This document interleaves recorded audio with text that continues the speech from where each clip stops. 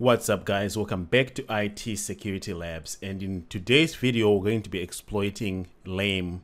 LAME is a machine on Hack the Box and in this series I'm going to be exploiting all the machines that are like OSCP that are suggested in this guide, how to pass OSCP like a boss.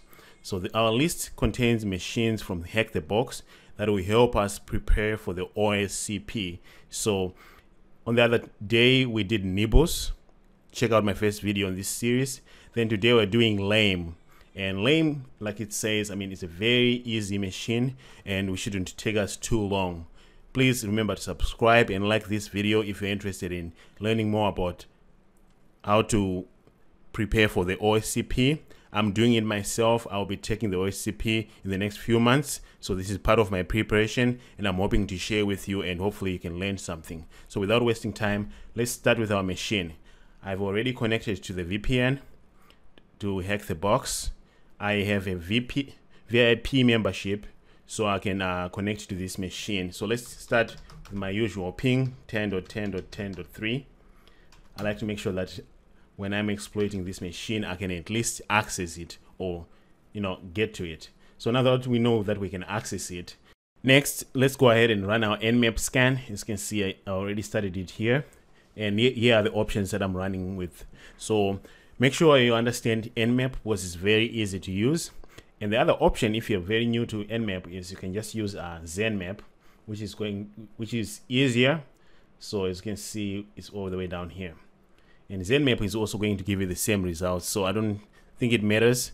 I like to spend as much time in the command line as possible. Make sure that I get the most out of this learning experience. And while this is running I think we're going to do this two ways. We're going to use manual exploitation then we're also going to end up with um, using Metasploit. But the first one is let's use Metasploit. Then if once we use Metasploit let's find a way to get in using a manual way so without wasting time, let's go back in there. Looks like our nmap is done. It's testing it earlier, but we have port 21, port 22, and Samba. So we have FTP, SSH, and Samba.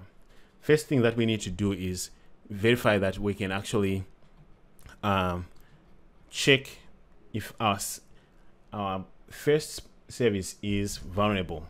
So the way we do that is by just using searchploit so if we do uh, search exploit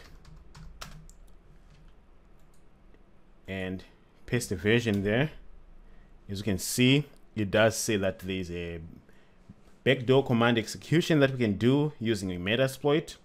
Now let's let's try with that. So MSF console, starting our Metasploit here. I have these results saved as well somewhere. In fact, let's keep this tab up and launch our Metasploit in a new tab. MSF console. So this way we can go back here and view our results for next. So our Metasploit framework is starting, as you can see right here. So this should be done.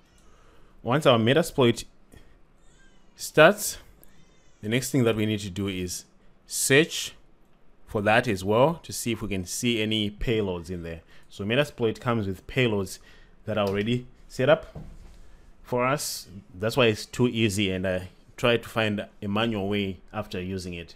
So as you can see, if we search for that, we do have a backdoor right here that we can try. So we can just say use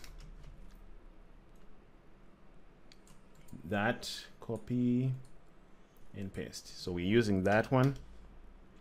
Then from here we can do a show options. And as you can see we only need to specify the R host which is going to be very simple. So we can just say set R host. And it's 10.10.10.3 that's the target that we do. Then we can just say run or exploit and see if we get shell. Well that's just supposed to be a backdoor. Giving it give it a second here. Uh, while it's running let's go and look at other things that are going on here. So looks like um, we do have a version of Samba which is 3.0.20 so um, this did not complete correctly so that's not ideal. I wonder if there's something that's resetting or maybe it's paged so let's ignore that one and move on to our Samba this one here. And since we're already in Metasploit let's just quickly search for that for the for the Samba service let's look up our Samba service. So if we just do a simple Google search of Samba 3.2.0 we end up with results and I already found uh, on exploit DB that there is a vulnerability to that Samba service and this is what it says here. I'll just read it to you.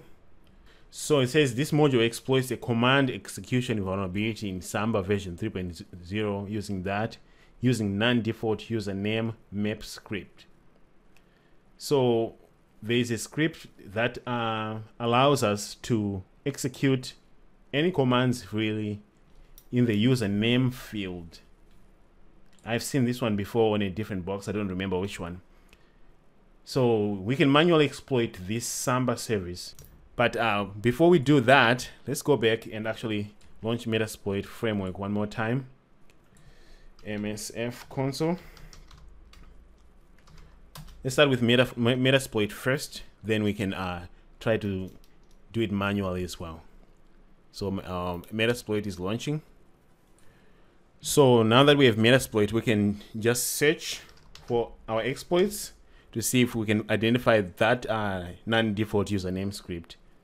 Search Samba, then specify 3.0.20. See if we can find something here. And as we already know, we want a script that is the username. So it's this one just say use that one uh, show options so what does this one need so it still needs uh, our host set our host 10.10.10.3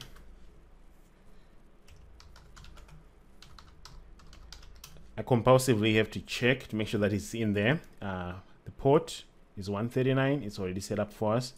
Then from here, we're going to just do a run. Let's see if we get shell here. Oh, this is going pretty qu quick. No wonder why this machine is named lame. It's kind of lame that if this works. So it looks like we're in. Then let's do um, who am I? Oh, that was quick. So um, let's list so we can grab our cd warm ls. So we have a user Makis. cd Makis. That's a user ls. So cat user dot text. So if you're new to hack the box, this is what we have to do. We have to grab a user dot text uh, file. That's a flag then we also need a root.txt. So now that we got that one, and uh, cd root, can I do that? So it is to who am I? So I'm root. So cat root root.txt I could have done that as Makis. As you can see, we got a flag. So this was too simple.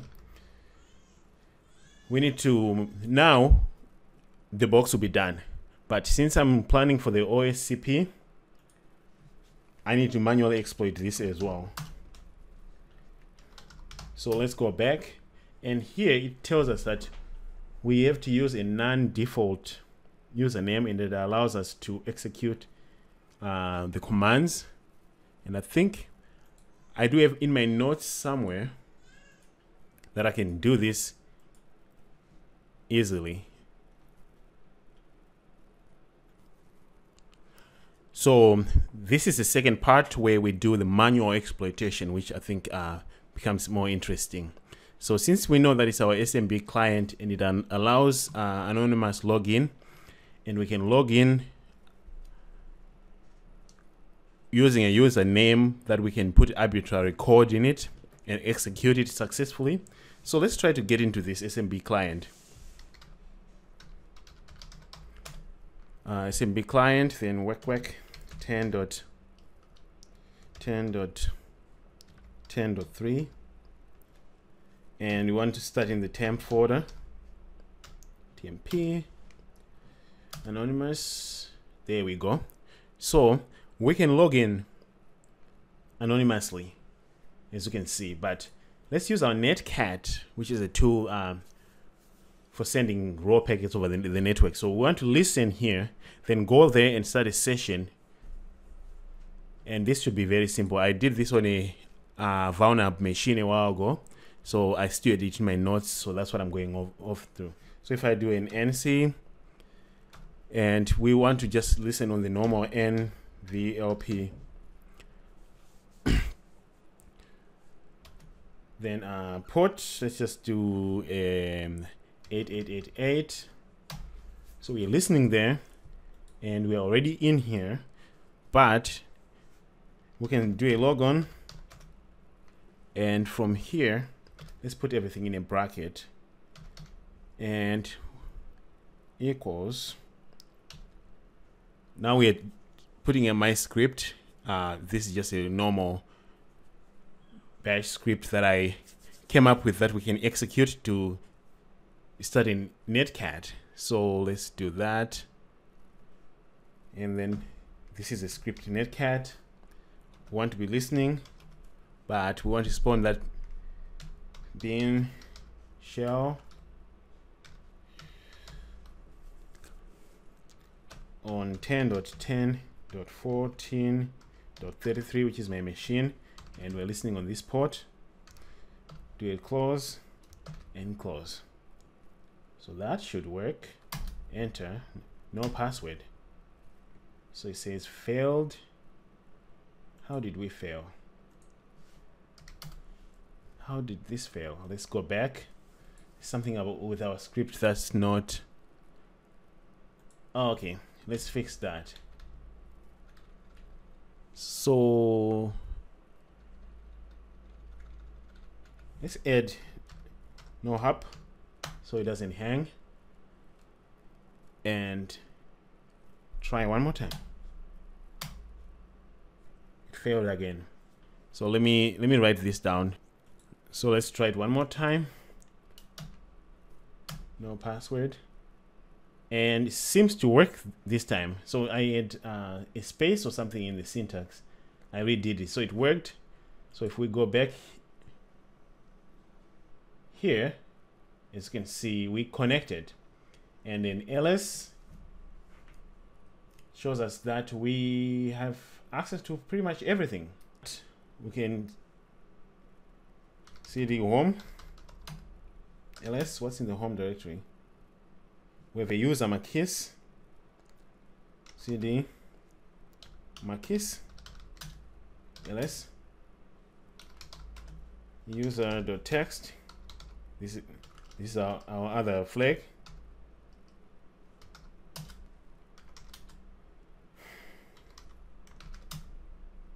Ls all right cd root. Can we get there? Let's okay now we can do a cat root dot text. There we go. So that's the manual way of exploiting this machine. So we are done with this uh, machine. Remember to subscribe like this video and we will be going through this list and actually prepare for our OSCP and hopefully we can pass like a boss in a few months. So subscribe and like this video and stay tuned for a new one. They'll be coming very soon